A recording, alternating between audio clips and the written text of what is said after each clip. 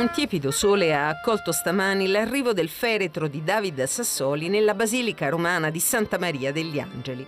Era avvolto nella bandiera europea nei cui ideali ha vissuto e creduto.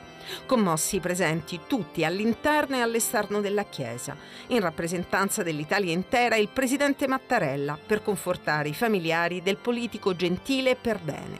Composto il dolore della moglie Alessandra e dei figli Livia e Giulio. C'erano le più alte cariche dello Stato, compresi gli avversari politici, mai considerati nemici da Sassoli, e i rappresentanti delle istituzioni europee. Tangibile la tristezza della Presidente della Commissione UE von der Leyen e del Presidente del Consiglio Michel. Accanto alla chiesa un maxi schermo ha permesso di seguire il rito ai tanti che non sono riusciti ad entrare in basilica. Commovente il ricordo dei giovani per la sua testimonianza di credente, per la sua vita spesa in favore del bene. Oggi, oggi sei andato un esempio per me, un punto di riferimento politico e non solo.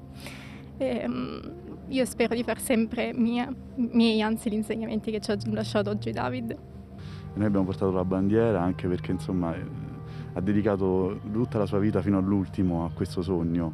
Se ne va un pezzo importante di questa Europa, se ne va una persona che ci teneva e ha creduto nell'Europa sin dall'inizio ha speso comunque tutti gli ultimi vent'anni della sua vita a mostrare che si può fare una politica diversa, una politica basata non sulle urla ma sui contenuti, una politica basata sul rendere più forte l'Italia rendendo più forte l'Europa e non a scapito dei nostri concittadini europei. Se ne va un punto di riferimento soprattutto per noi giovani in questo periodo, ma il sollievo in giornate come queste è che ci sono valori che non moriranno mai con le persone.